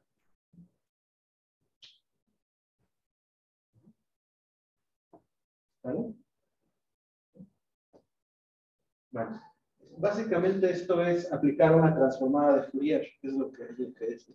O sea, este es, este es un objeto que vive en el espacio de coordenadas y al, considerar eh, este, la invariancia traslacional, lo que sucede es que la, eh, la función de onda en cada sitio debe de ir ad- adquiriendo estas fases. Y al adquirir esas fases, nos ayuda a desacoplar. Si el sistema es finito o el sistema es desordenado, no existe periodicidad. Y entonces esta sustitución de Fourier no se puede hacer. ¿Alguna pregunta con esto? Es más complicado verlo en, eh, un cristal de, de dos dimensiones. Entonces, nos, entonces nos movimos al espacio de la red recíproca para poder trabajar con los vectores de onda de nuestro Justamente. electrón que se desplaza sobre el arreglo. Sí, claro, justamente. Hemos aplicado una transformada de Fourier que nos ha llevado a un espacio diferente, que es el espacio recíproco. Sí, justamente. Y en este caso, la componente de salto sería este, la parte de la interacción electrónica, bueno, la parte de la interacción electrón-electrón No, cambió nada más. o nuestro potencial, por así decirlo. No, siguió siendo T. No, no cambió nada más. Mm. Sí, muy bien. Ah, bueno. ¿Alguna duda? Está, está tranquilo, ¿no? En el cablecito está tranquilo, pero ya cuando nos vamos a dos dimensiones, este, la matriz se vuelve un poquito más complicada. Pero bueno, entonces, eh, ahora sí, ya vamos llegando, poco a poco. La emoción se siente en la sala. Esto que tenemos acá en rojo es este, lo que se conoce como la celda unitaria. Ayer les dibujé la celda unitaria, bueno, más bien la copié de- del libro de cristalografía, este, y en el libro de cristalografía la dibujan así. Creo que esto era A y esto era B. O si no, esto era A y esto era B, no recuerdo. Pero bueno, el punto es que recuerdan que estaba dibujada así. ¿ya? Aquí la estoy dibujando así, la estoy girando. Y la estoy girando porque eh, tengo que venderles que este material da una dispersión de Dirac. ¿Ok? Pero para que mi vida sea más sencilla, este, tengo, que, tengo que poner las, los vectores así. Ya lo van a ver en un momento. Pero no pasa nada, ¿no? O sea, esto o esto, pues es lo mismo, simplemente giro el cristal, pero si todos los átomos giran, este, los valores y los vectores no cambian. ¿Sí? Es un truco, por eso es que la puse así. No es la opción más común. Y de hecho, cuando leen artículos de esto, tengan cuidado, vean cómo están definiendo los vectores. Este, esa es una recomendación. Pero bueno, entonces, eh, pues ya, ya estamos casi listos para, para resolver el problema. Eh, como ustedes pueden ver, en el caso del grafeno, la látiz, eh, la celda unitaria tiene dos átomos. ¿ok? Hay dos átomos que no son equivalentes. ¿sí? Eh, se dice que existen dos este, eh, sublátices, este, eh, dos sub- sublátices interpuestas. Bueno, en fin. Una de esas sublátices la gente le llama la sublátice A y a la otra le llama la sublátice B. Y el detalle es que con la parametrización que sacamos del libro de Dresselhaus, solamente necesitamos ocuparnos de primeros vecinos. ¿Sí? Pero ahora vamos a usar este, este, una transformada de Fourier para llevar de- del cristal infinito, de la matriz infinita, a una matriz de tamaño finito, justamente como sucedió acá. Ahora, acá teníamos un cristal con un solo elemento químico y un solo orbital S. Por esa razón, la matriz es uno por uno, es un escalar. ¿Sí? Pero acá, como ya lo hemos dicho muchas veces, dos átomos requieren este, una matriz 8 por 8. ¿Sí? Entonces, eso es lo más pequeño que vamos a poder llegar. Ya no podemos hacerlo más pequeño. ¿Sí? ¿Sí? ¿De acuerdo? Pero ya está bien, ¿no? 8 por 8 a infinito. En fin. Entonces, eh, entonces lo que tenemos ahora que ver es, este, pues, ¿dónde están los vecinos? Eh, aquí está el átomo A. Y vemos que hay tres vecinos que pertenecen a la sublátice complementaria, que es la látice B. De estos tres vecinos, solamente uno vive en el país rojo, solamente uno vive en la parte roja. Los otros viven afuera. Entonces, para, para aplicar el, teorema de, de, Fourier, lo que tenemos que ver es, por ejemplo, para este átomo A, este, qué desplazamiento tengo yo que hacer para llegar de este punto a un punto en el cual este átomo esté equivalente al punto donde estoy empezando. Entonces, como pueden ver, este átomo B requiere un desplazamiento por menos A2. Me pone acá y entonces está ahí. Este desplazamiento eh, me, básicamente me está diciendo, es este átomo, pero está acá. Ahora, este de acá requiere un desplazamiento por A1. ¿no? Lo pone acá, o sea, está, está acá y más A1, ahora está acá. Y para este átomo, ustedes pueden ver que de hecho eh, las distancias cambian de signo. Esto tiene que ser así porque, porque los, los elementos de matriz tienen que ser hermitianos. el cambio de signo les da que conjugue, conjugue bien, ¿no? Bueno, entonces uh, ya, pues ya casi acabamos. Este, Giovanni estaba preguntando, no, creo que era Troy. Alguien de ellos estaba preguntando este, estábamos resolviendo en el espacio recíproco y la respuesta es sí, y lo tenemos que definir. Este, eh, los valores de K normalmente este, van a existir dentro de una región del espacio recíproco que se conoce como la primera zona de Brouillon. Brouillon, no sé, es francés. Este, que bueno, voy a definir ahora. De entrada, eh, los vectores eh, este, recíprocos tienen que ser ortogonales a los vectores eh, de la látiz normal. Y esa ortogonalidad se expresa de esta manera. Este es un producto punto, pero bueno, este PowerPoint no, no da. Entonces, por eso es que estaba. Este, pero bueno, en fin. Eh, entonces, esto es algo que este, es un truquito, truquito para los estudiantes, y es que este, de entrada eh, no tienen que este, preocuparse mucho para encontrar los, los vectores recíprocos.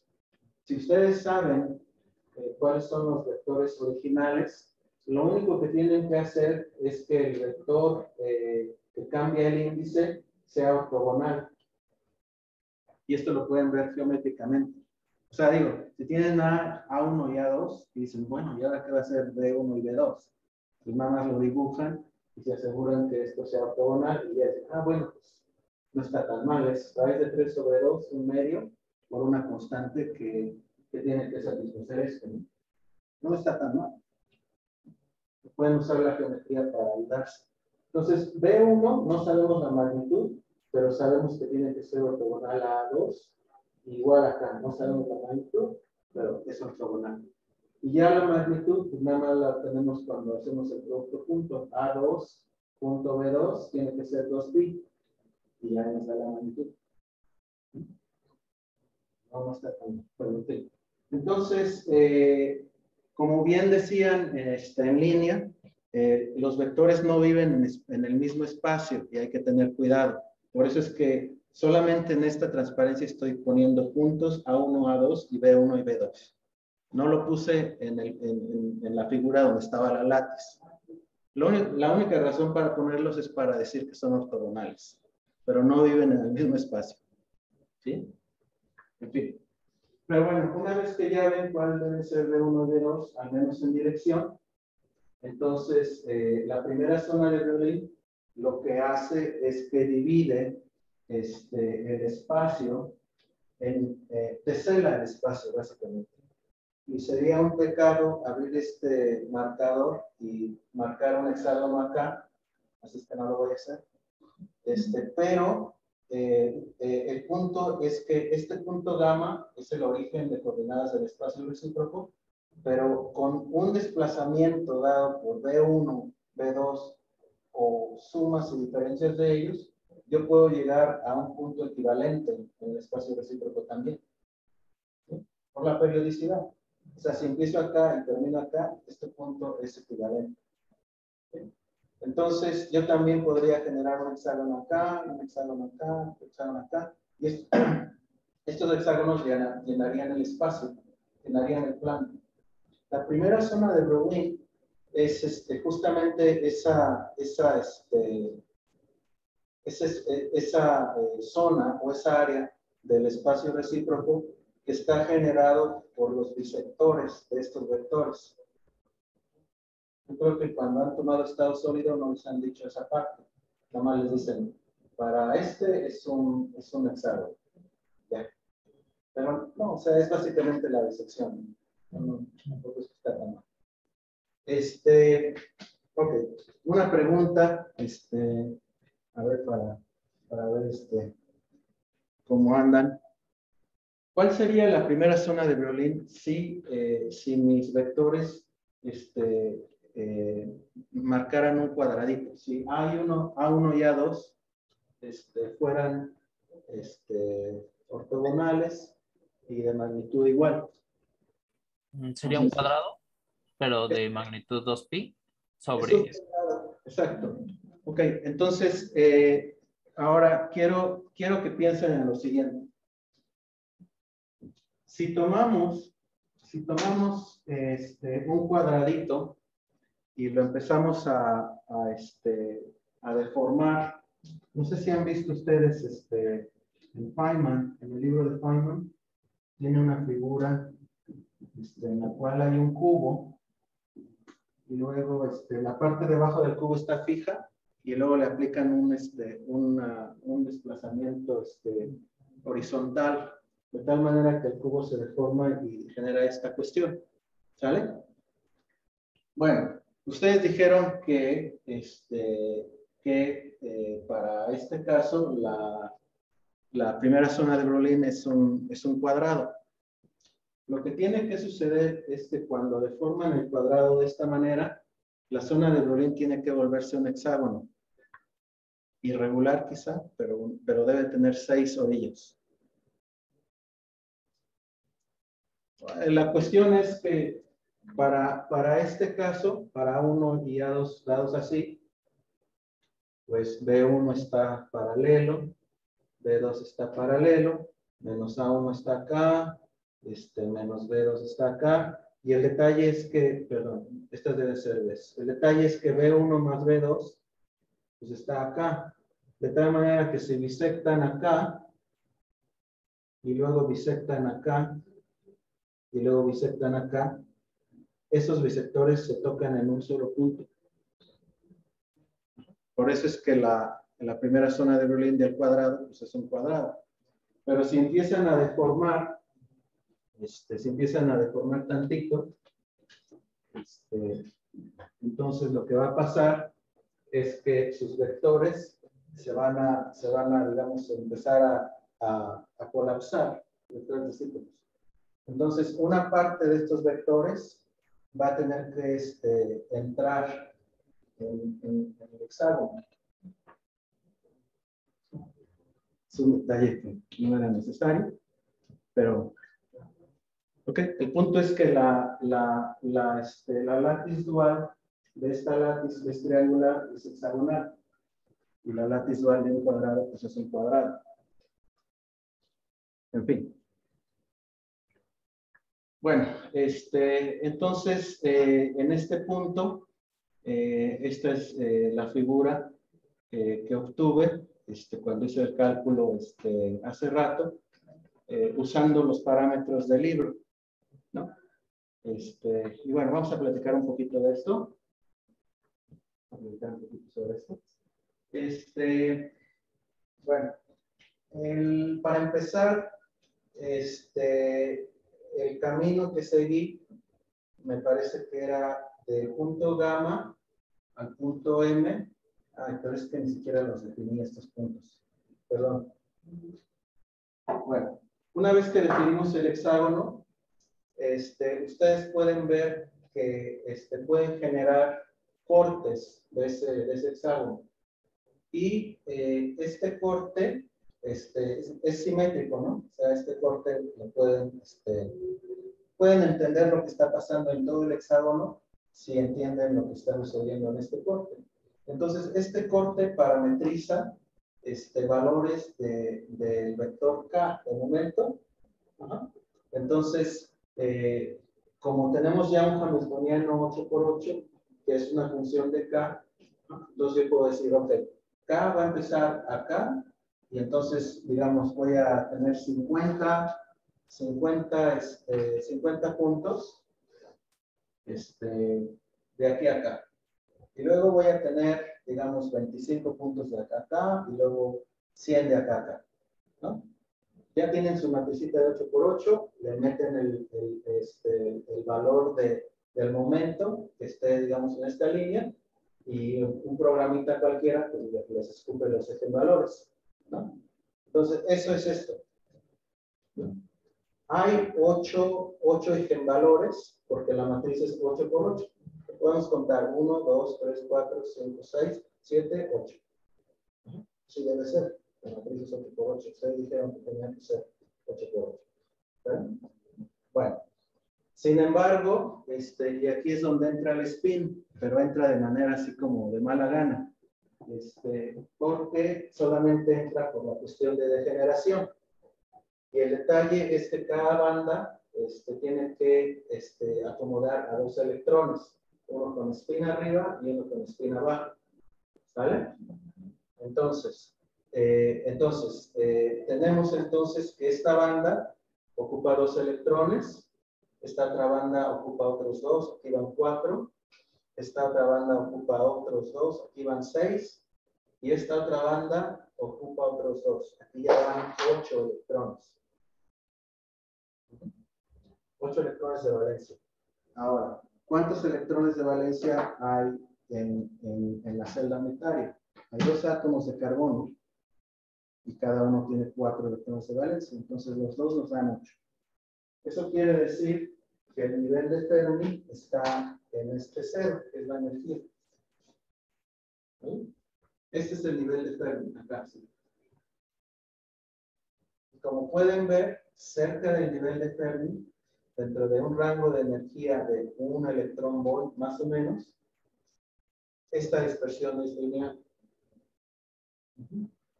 Lo que sucede lo que sucede es que eh, en la matriz 8 por 8,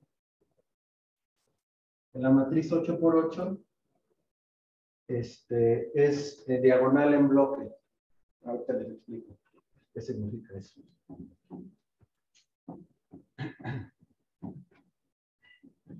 Lo que sucede entonces es que eh, la matriz se vuelve diagonal en bloque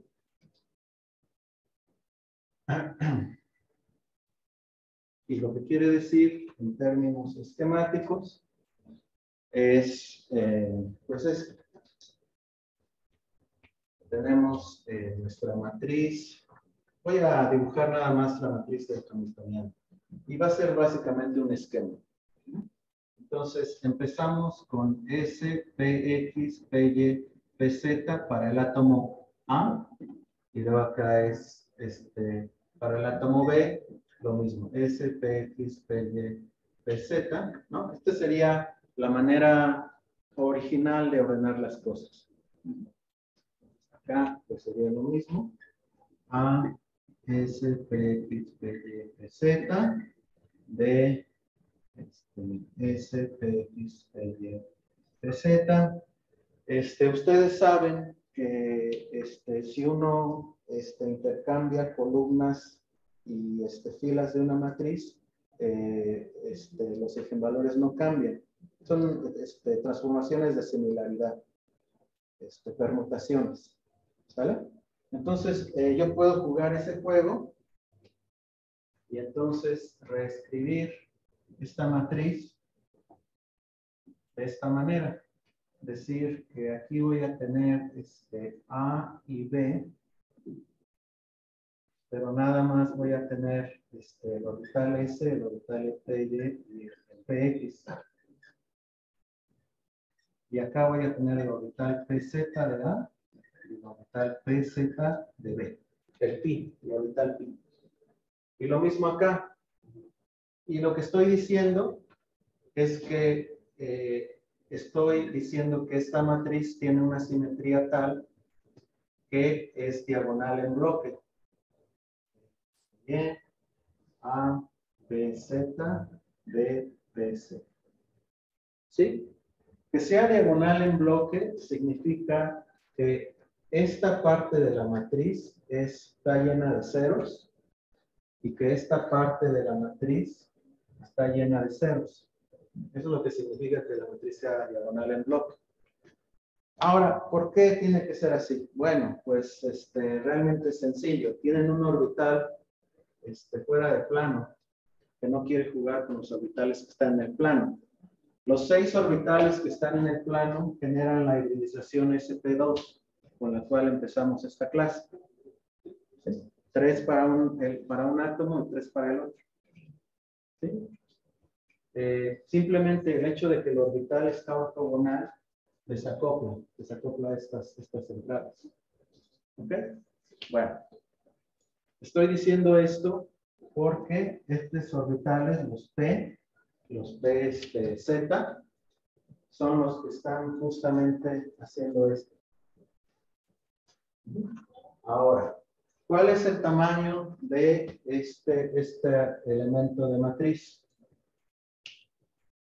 ¿Cuál, ¿Cuál es el tamaño de esta matriz? ¿Mm?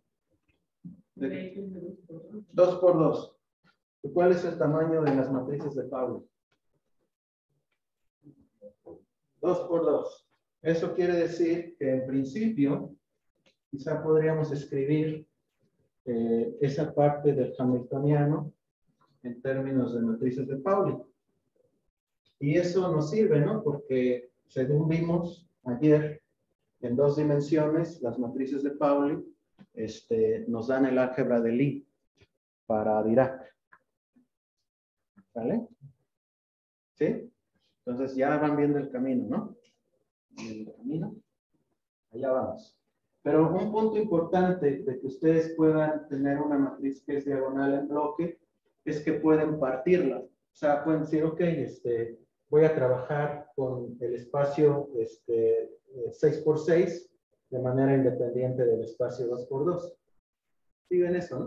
O sea, estas matrices no están conectadas, pueden básicamente jugar separadamente con ellas. Y eso es, digamos, lo que se tiene que hacer ahora. Pero antes de hacerlo, este, pues quiero hacer un par de cosas. La primera es, quiero correr el código para que vean este, más o menos cuánto tarda en hacerlo. Este, también les quiero enseñar el código, que este lo quieren ver. Sí. Este, entonces las primeras cuatro bandas de abajo. ¿Es la parte acústica? La de no, no, no, estos no son fonones. Ah. Esta es la dispersión electrónica. Estos son electrónicos. Bueno. En fin, entonces eh, les voy a compartir esta pantalla. A ver si funciona tengo que dejar de compartir el la otra.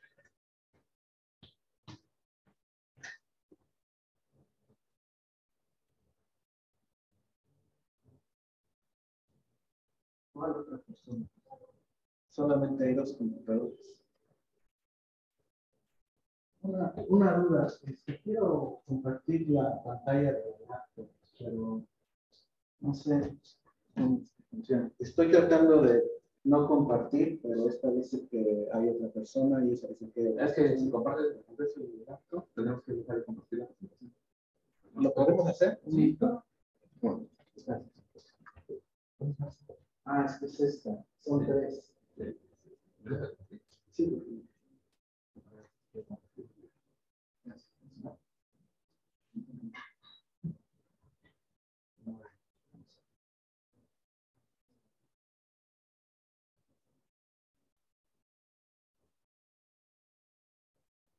Eh, les comento que este es un problema este, de tarea que los estudiantes tienen que hacer. No, está con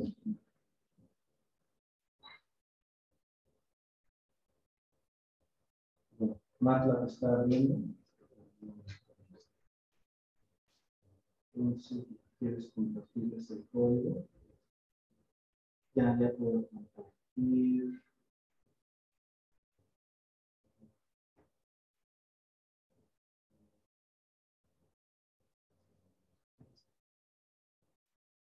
Es el.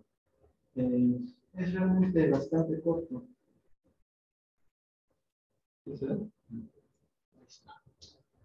Bueno, este, pues se los explico. Eh, hice un poco de trampa, este, en el sentido de que, gracias, de que mis vectores este, originales no son, este, no son los que dibujé en, la transparencia. Este, pero bueno, déjenme hablar de eso. El detalle es que cuando pongo los vectores eh, este, de la látiz así, la primera zona de violín este, se pone así. Y lo que quiere decir es que estos puntos eh, se etiquetan K o K', este, están en el eje horizontal. Eso me va a dar ecuaciones de Dirac que no van a tener rotaciones. Eso es por eso es que lo hice así. ¿okay? Pero este, realmente lo pueden hacer como quieran. En este caso, este es el vector A1 y el A2 y están, están así. Es que no pasa nada.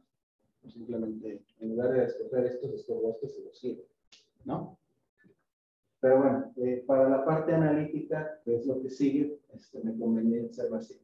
¿Ya? Pero no me dio tiempo de cambiar el código. Entonces, eh, tienen su constante de látiz, sus este, vectores de la látiz. Estas son las integrales de sitio.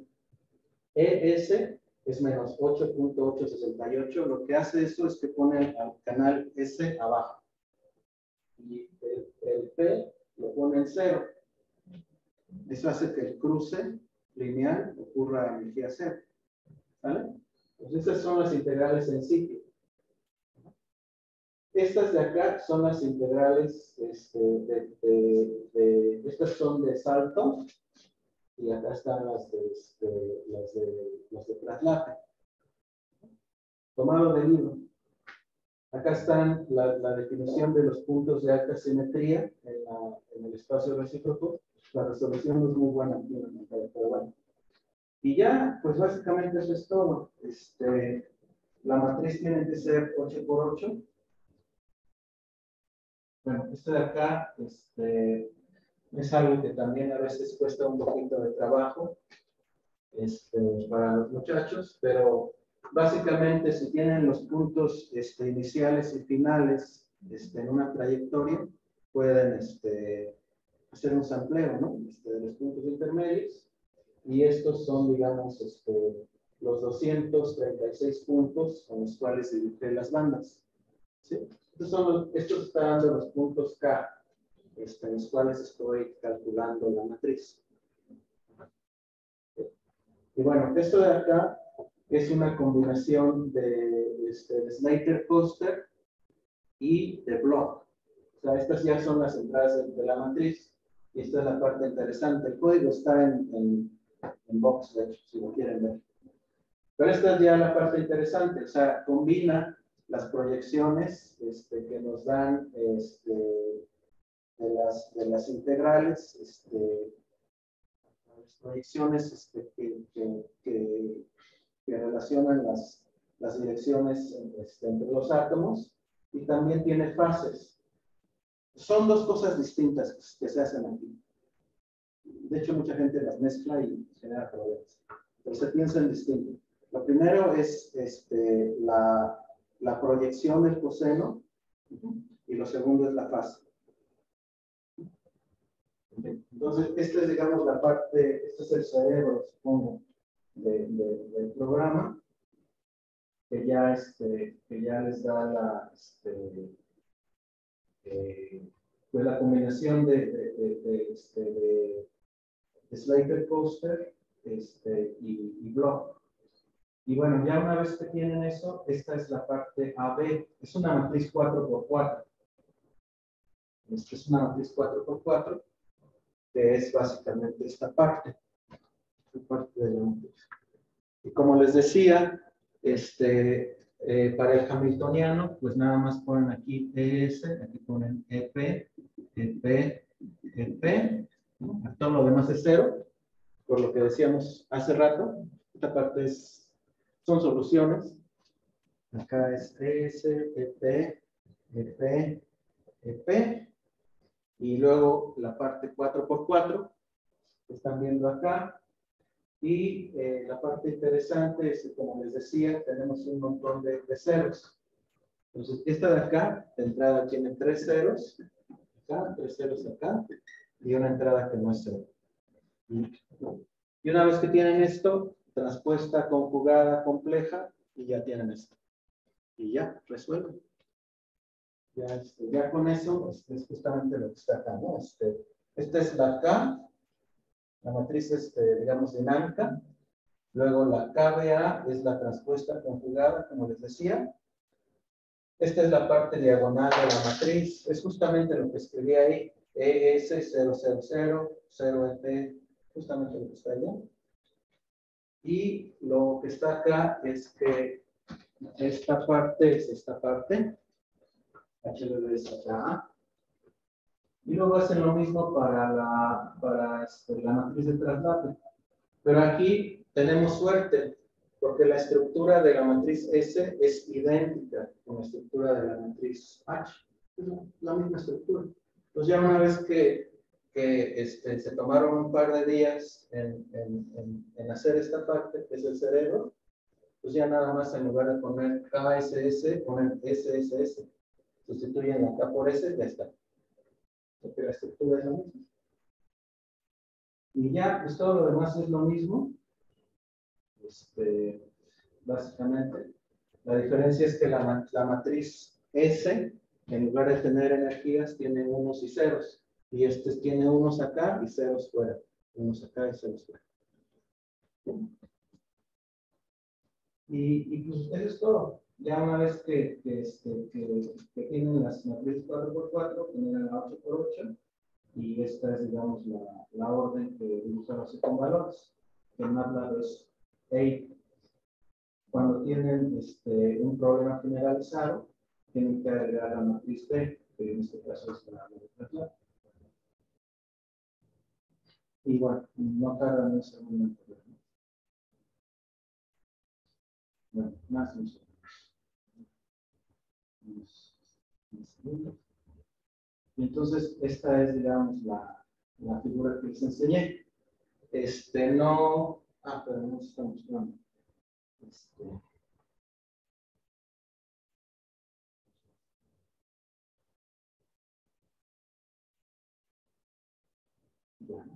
Entonces, este, pues lo que hay que hacer ahora es trabajar con la parte este, de los orbitales P pero ya nada más quedan 10 minutos, este, yo creo podemos ser rápido. Pero ya estamos bien cerca. Sin embargo, este, para terminar, déjenme decir algo. Una cosa más. Quiero enseñarles este, resultados experimentales sobre este, lo que platicamos ayer. Ya con eso con esa me despido, ¿no?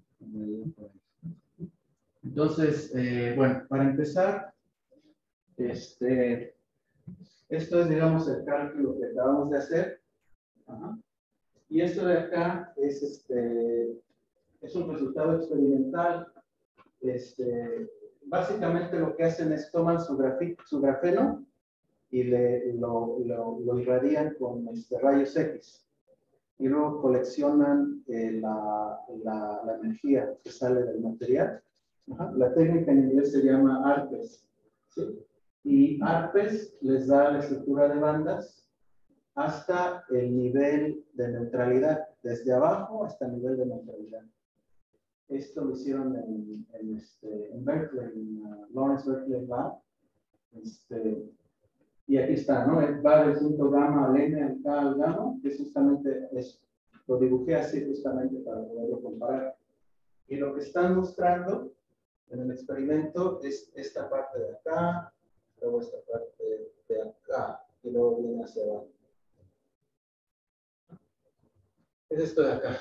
Este, esto de acá es eh, ARPES, pero este, en este punto eh, de Dirac, aquí dice ED, acá. Entonces, lo único que se ve es un puntito en las orillas. Eso quiere decir que en el punto, en la energía de Dirac, la única cosa que, que se tiene es la densidad que está en los puntos K, en la orilla, en, la, en, en, este, en donde los conos se tocan. Un detalle este, que, bueno, supongo que ya lo vieron, es que en, la ecuación de Dirac normal, la dispersión se centra con respecto al origen, cae que se calle. Acá tenemos seis conos, todos están en, este, en, la, en, este, los puntos K. ¿sí? Entonces se desplazan, pero fuera de eso la dispersión es, es similar. Y bueno, ah, este, esta es la referencia si la quieren escribir. Odisea 2007. Eh, en lo que lo escriben, ustedes podrán decir, bueno, pero ¿por qué en el experimento no se ve esto? La respuesta quizá es que la parametrización este, teórica la escribieron en el 98, esto es 2007, no sé, pueden cambiar el parámetro tantito y tal, pero las simetrías están ahí, todo está ahí. ¿Ya hay? Ah, bueno, esto es este, en sí, eh, eh, no dibujar la, las bandas este, sobre esta línea roja, sino dibujarlas este, en todo el, el, el plano X, X, eh, KX italiano. Y las dibujan, pues entonces vean los seis cruces. Y cada cruce pues es este, este, con, ¿Sí, sí entienden eso? O sea, esto en lugar de ir por el corte es básicamente toma todo y dame los valores con todo. Entonces se ve como esto. Y estas nada más son las bandas este, pi, de hecho, las dos que se separaron. Bueno, estos son los niveles de Landau. Ya casi acabamos.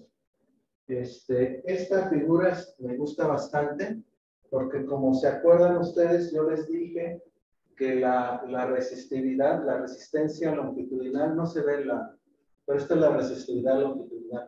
Yo les dije que la resistencia estaba eh, este, relacionada con la densidad, ¿sí? Y recuerden que en el punto de energía cero, en el punto de Dirac, este, eh, la densidad se va a cero. Eso hace que la resistencia se dispare. Ya, lo, de lo, lo, el punto es, lo que estábamos hablando, todo tiene sentido, proceso. ¿Vale? Este, ¿Y qué más? Acá esto es, este, es, es eh, oh, ya lo pueden leer. Este es el campo magnético. La, la línea roja es la resistividad este, eh, longitudinal. Y esta de acá es la de Hall. ¿Sí? Ya lo pueden ver. Es básicamente la contraparte. Esta es la, digamos, la barra de Hall de grafeno. Y esto es lo que les da. Como decir, ya lo pueden leer. Ahora, meten el campo magnético. Esto es como se separan los niveles. Eh, raíz cuadrada. ¿Recuerdan? Raíz cuadrada de... se separa. Y este, de hecho, es uno de los primeros artículos este, en el tema, ¿no? Es el de Kim de 2005. Salió este eh, empalmado con el, con el artículo de Manchester. Y ya lo pueden leer miércoles. ¿Sí? El empeño para. Ah, bueno, esto es algo, este, es un correo electrónico. Y bueno, no quiero que lo tomen como presunción, este, pero el punto es, este, trabajando en Estados Unidos, existen conexiones este, con gente que trabaja en Estados Unidos. Eh, cuando estuve en, Francia hace dos semanas, eh, Kim dio una, una plática este, remota, pero bueno, este, estaba hablando sobre ferroeléctricos y, y, y, yo le escribí después de que dio la plática y le dije, mire, este, aquí hay algo, este, y, y no pensé que fuera a responder, este, pero mira, sí, sí respondió. Este, entonces, eh, y bueno, quizá también lo que quiero decirles es este, que aquellos que están considerando, este, que considerarían trabajar conmigo, este, y dicen, bueno, pero es que no es, no es California, no es Boston, es como Tangamandapio.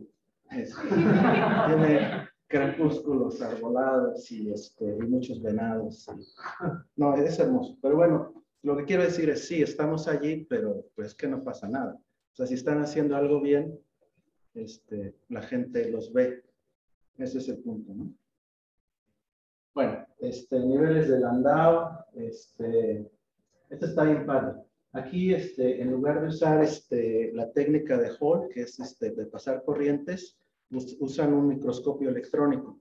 Entonces, el microscopio electrónico lee la densidad directamente, directo. Este, y miren, ponen el campo magnético y da, esto es experimental. Los puntos son experimentales y lo rojo es este, un, este, empatamiento este, Pero da, o sea, esto es lo que vimos ayer.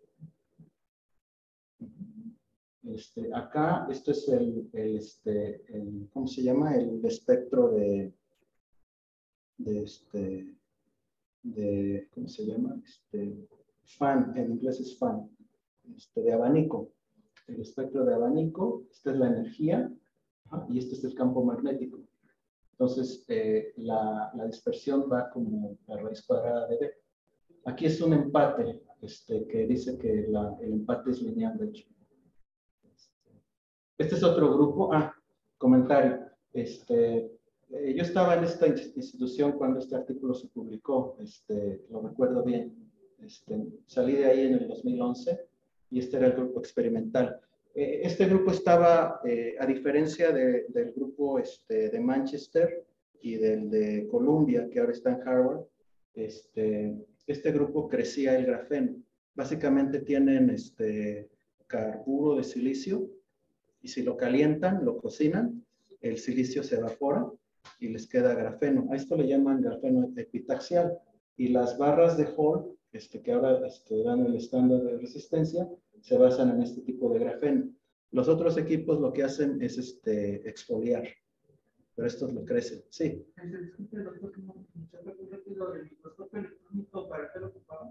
¿El espectro electrónico? ¿El qué? Microscopio.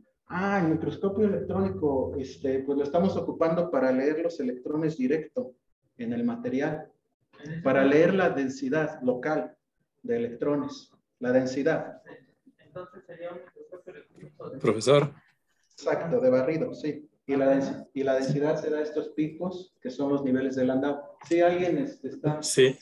Sí, es, es que la traducción está bien. El Scanning Tunneling Microscope es el que sí puede leer eh, con la punta las densidades electrónicas en la superficie de una muestra, pero el microscopio electrónico de barrito es otra cosa.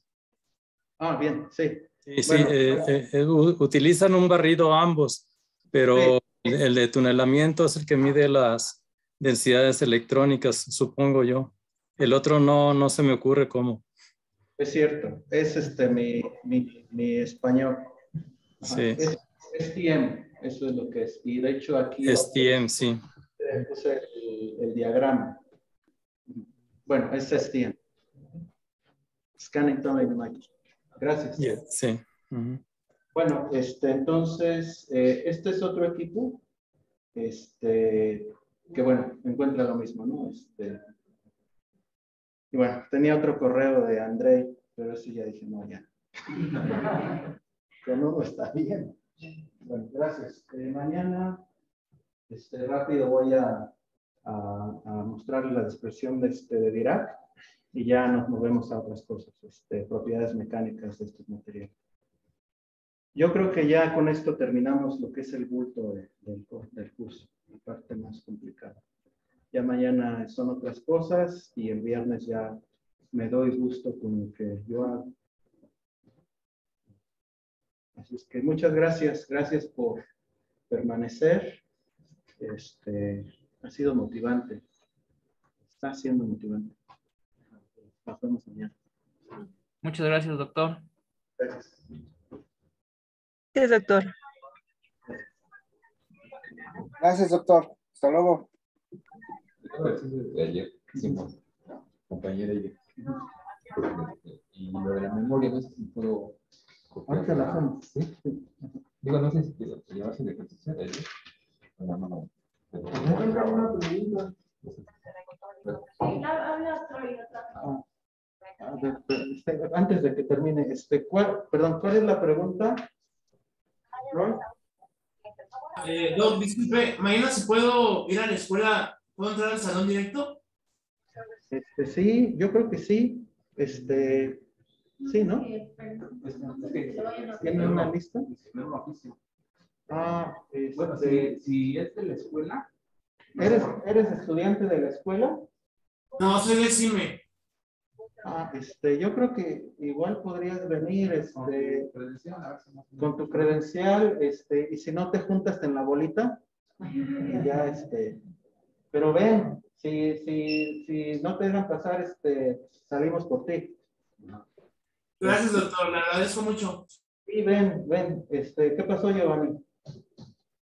Este, el análisis que hicimos ahorita fue de una dimensión. En dos dimensiones, este, so- trabajaríamos a través de solo los vecinos cercanos para las zonas de Bruilán y eh, a través de nuestra matriz sería una o sea, esa matriz para hacer nuestra separación de, o sea, la separación que hicimos para tener la- lo que sería las, este, pues la separación de las ecuaciones, o sea, desacoplar las ecuaciones, se convierte en un sistema de ecuaciones similar a la cantidad de vecinos cercanos, o es que estaba pensando en cómo sería la matriz y La- la- original y pensaría que era un, sería un tensor, ¿no? En este caso, por la profundidad, bueno, no sé, o solo sería una matriz más grande. Es una matriz más grande. Mira, la puedo dibujar mañana para ti.